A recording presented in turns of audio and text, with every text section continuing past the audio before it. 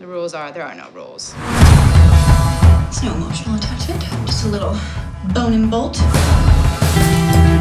I just broke with my boyfriend. He said I was cheating on with my Blackberry. So many women try to pass themselves off as virginal. You know it's not true. Do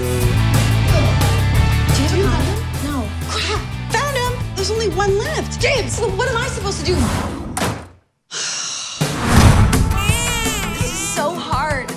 Tells you it's gonna be so hard. Yes, they do, Kim. That's pretty much all people say. Is that a baby on your back? Is it not bring your baby to work day? Make fun of me all you want for being a virgin. You will never hear me say, I had sex with some guy last night and he didn't call me, or I got pregnant again. Oof, snap.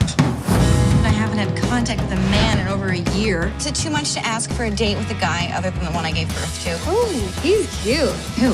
Hi, I'm Nicholas.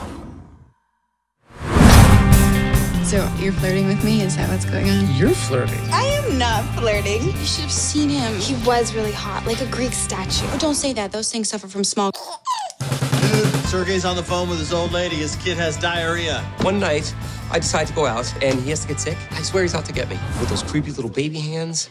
Kids, what a buzzkill, huh? I lied about being a mom. I lied to get a guy to like me. I'm one of those lame girls that jack it up for the rest of us. This must be your roommate with a baby. Yep.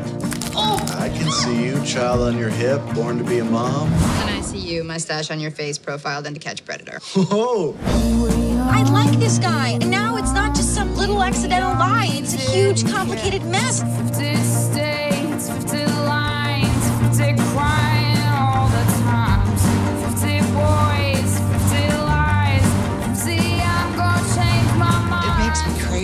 Nowadays that people have children when there are so many dogs that need forever homes.